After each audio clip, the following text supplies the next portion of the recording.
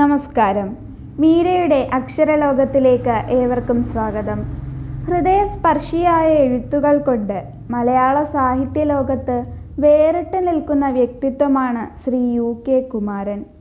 Vayalar award ജേതാവ് കൂടിയായ അദ്ദേഹത്തിന്റെ ഓരോ വിളിയും കാത്ത് എന്ന പത്താം ക്ലാസ്സിലെ പാഠഭാഗം കൂടിയായ കഥയാണ് മീരയുടെ അക്ഷരലോകം ഇന്ന് ചർച്ച ചെയ്യുന്നത്.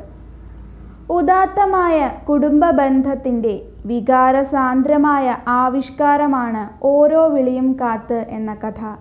അച്ഛന്റെ മരണത്തോടെ ഒറ്റപ്പെട്ടുപോയ ഒരമ്മയുടെ ആത്മസംഘർഷങ്ങളെ മകന്റെ വീക്ഷണങ്ങളിലൂടെ അവതരിപ്പിക്കുന്ന കഥയാണിത്. അമ്മയുടെ ഓർമ്മകളിലൂടെയും ചിന്തകളിലൂടെയുമാണ് കഥയിൽ അച്ഛൻ ജീവിക്കുന്നത്. അച്ഛന്റെ ശബ്ദവും സാന്നിധ്യവുമായിരുന്നു വീട്. എന്നാൽ അച്ഛന്റെ മരണത്തോടെ എല്ലാം പെട്ടെന്ന് മാറുന്നു. അത് സൃഷ്ടിച്ച കനത്ത ഏകാന്തത അമ്മയെയും വല്ലാതെ ബാധിച്ചിരിക്കുന്നു. ആ മരണം കടുത്ത നിശബ്ദതയ്ക്ക് വഴിയൊരുക്കുകയായിരുന്നു. നീണ്ട വരാന്തകളും വെണ്മയാർന്ന ചുമരുകളും വലിയ ജനാലകളും വാതിലുകളും ഒന്നും ഒരു വീടിനെ പൂർണമാക്കുന്നില്ല. സ്നേഹവും സുഖദുഃഖങ്ങളും ഒന്നിച്ചു ചേരുന്നതാണ് വീട്. സിമന്റും കട്ടയും പോലെ തന്നെ വീടിനെ കരുത്തുറ്റതാക്കുന്നത് കുടുംബ ബന്ധങ്ങളാണ്. അച്ഛന്റെ മരണശേഷം മകന്റെ കണ്ണിൽ വീട് വീടല്ലാതായിരിക്കുന്നു. രോഗശയ്യയിലായിരിക്കുമ്പോൾ പോലും അച്ഛൻ തനിക്ക് ചുറ്റുമുള്ള കാര്യങ്ങളെക്കുറിച്ച് ബോധവാനായിരുന്നു. പറമ്പിലെ അടയ്ക്ക പഴുത്തതും തെങ്ങിൽ തേങ്ങ വരണ്ടിരിക്കുന്നതും കന്നിനെല്ലിന്റെ വളർച്ചയും വഴിയിലേക്ക് ചാഞ്ഞുകിടക്കുന്ന കതിരിലൂടെ ആരോ നടക്കുന്നതായും തന്റെ മനസ്സിന്റെ ക്ലാവ് പിടിച്ച കണ്ണാടിയിലൂടെ അച്ഛൻ കാണുന്നു. അച്ഛന്റെ ആ തോന്നലുകൾ യാഥാർത്ഥ്യമായിരുന്നു. അതിൽ നിന്ന് തന്നെ അച്ഛനും വീടും തമ്മിൽ നിലനിന്നിരുന്ന ആത്മബന്ധം അനുവാചകന്റെ മനസ്സിൽ പതിയുന്നതാണ്. അച്ഛന്റെ വിളികൾക്ക് മറുപടി നൽകാൻ കാത്തിരിക്കുന്ന അമ്മ.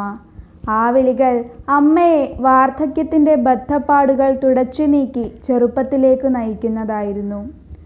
അച്ഛനോടൊപ്പമുള്ള ജീവിതത്തിന്റെ അവസ്ഥയിൽ നിന്ന് വിഭിന്നമായി പുതിയൊരു ലോകത്തേക്ക് അമ്മ പ്രവേശിച്ചിരിക്കുന്നു. എന്നാൽ അമ്മയുടെ ഹൃദയത്തിൽ അച്ഛൻ അന്നും ജീവിക്കുന്നു. അമ്മയുടെ കാതുകളിൽ അച്ഛന്റെ വിളികൾ ഇന്നും മുഴങ്ങുന്നു. അതുകൊണ്ട് തന്നെ താൻ ഒറ്റപ്പെട്ടു പോകുന്നു എന്ന ചിന്ത അമ്മയിലില്ല. എന്നാൽ നഗരത്തിൽ ജോലി ചെയ്യുന്ന മകന് നാട്ടിൽ അമ്മയെ തനിച്ചാക്കിയുള്ള യാത്ര ഏറെ ദുഃഖകരമാണ്. നിസ്സഹായനായ ആ മകന്റെ മനസ്സിന്റെ വ്യാകുലതകളെ അമ്മ തുടച്ചു നീക്കുന്നു. നഗരത്തിലേക്ക് പോകാൻ അമ്മയെ ക്ഷണിക്കാൻ മകൻ വ്യസനിച്ചു നിൽക്കുന്നു. നഗരത്തിന്റെ അന്തരീക്ഷം അമ്മയ്ക്ക് സുഖകരമാകുമോ എന്ന ഭയത്താലാകാം മകൻ അത്തരമൊരു ചിന്തയിൽ എത്തിച്ചേർന്നത് എന്നാൽ അച്ഛന്റെ മരണാനന്തര ചടങ്ങുകൾക്ക് ശേഷം നഗരത്തിലേക്ക് പോകാൻ അമ്മ തയ്യാറാകുന്നു. അച്ഛന്റെയും തന്റെയും നോട്ടം വീടിന് കിട്ടിയിരുന്നതുപോലെ മറ്റാരിൽ നിന്നും കിട്ടില്ല എന്നറിയാമായിരുന്നിട്ടും നാട്ടുകാരെ വീട് നോക്കാൻ ഏൽപ്പിച്ച് അമ്മ യാത്രയ്ക്കൊരുങ്ങുന്നു. നഗരത്തിന്റെ വിശേഷങ്ങൾ അമ്മ തന്റെ കൊച്ചുമകനിൽ നിന്ന് ചോദിച്ചറിയുന്നു. നല്ല വെള്ളവും നിലാവും പക്ഷികളുടെ സ്വരവും ഇല്ലാത്ത നഗരം അമ്മയ്ക്ക് യോജിക്കുന്നതായിരുന്നില്ല. യാത്രയുടെ ദിവസം പുലർച്ചെ അമ്മ എണീക്കുവാനുള്ള ഭാവത്തിലല്ലായിരുന്നു.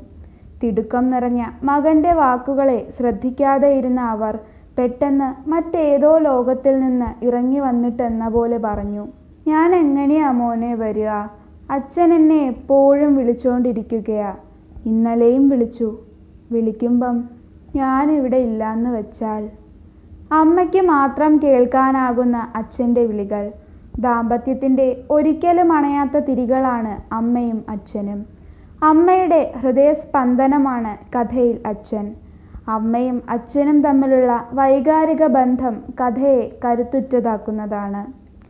നിസാര പ്രശ്നങ്ങൾ പോലും നേരിടാനാകാതെ പിരിയേണ്ടി വരുന്ന ദമ്പതിമാരുടെ ഈ കാലത്ത് അച്ഛന്റെ ഓർമ്മകളിൽ ജീവിക്കുന്ന അമ്മയുടെ കഥ ഏറെ പ്രസക്തമാണ്. മീരയുടെ അക്ഷരലോകം ഏവരും ലൈക്ക് ചെയ്യുക സബ്സ്ക്രൈബ് ചെയ്യുക നിങ്ങളുടെ അഭിപ്രായം കമന്റായി അറിയിക്കുക. നന്ദി.